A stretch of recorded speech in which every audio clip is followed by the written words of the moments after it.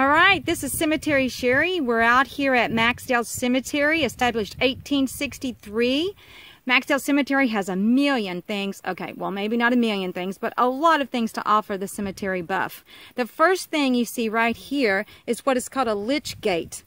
Um, this lich gate is not curved. A lot of them are curved, but this one's straight across. It's also called a corpse gate. Um, this is where the funeral procession would pass under while uh, they were coming to, to for, for a graveside burial. Um, now, the uh, people who would come to visit the cemetery would enter by another means. That's a small gate right there. I don't know if you can see it really well. But um, so we're going to go in, but I wanted to make sure that you saw this lich gate.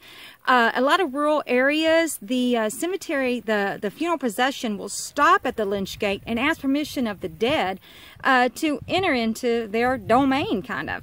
So that is the lich gate of Maxdale Cemetery.